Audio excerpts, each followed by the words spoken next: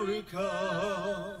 They're calling it Cop Pool Karaoke. Two Boston police officers showing some Independence Day spirit, and the video is great. They put it together to celebrate July 4th. And with impressive talent to show us a side of police officers we rarely get to see.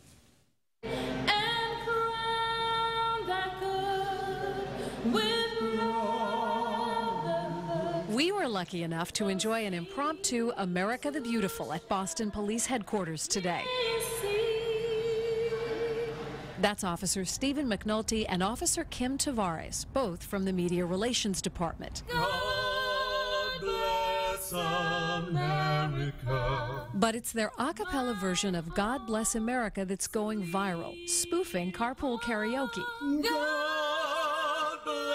So Kim and I have, have been singing for the department individually for, for a number of years, performing the national anthem um, at different venues for different events, but we've never actually sung together. The patrol car performance was their first time. With the stress that we have to go through, you know, on a day-to-day basis, um, you need something that levels that stress out. And you know, music. I mean, it just you know makes you happy. And along with that comes a little burst of attention for people who are usually behind the scenes. Completely uncomfortable. No, I'm kidding. No.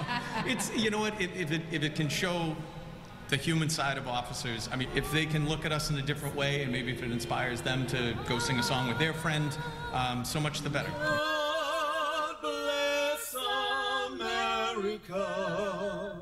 My home, sweet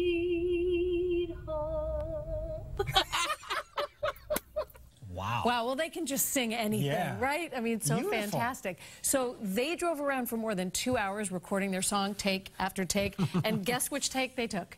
The first one. The very first Usually one. Usually the first That's one is the best. Exactly. You have the benefit of letting the public see them in a different light. There's definitely that.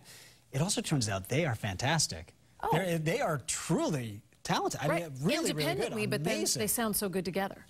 I, I, Thank you. I am shocked at how good they are. And not that I didn't think they'd be great. Beautiful, Almost beautiful speechless. voices. Yes, I would say almost speechless. I'm never fully speechless, as you know, Eric. No, air conditioning in the car, too.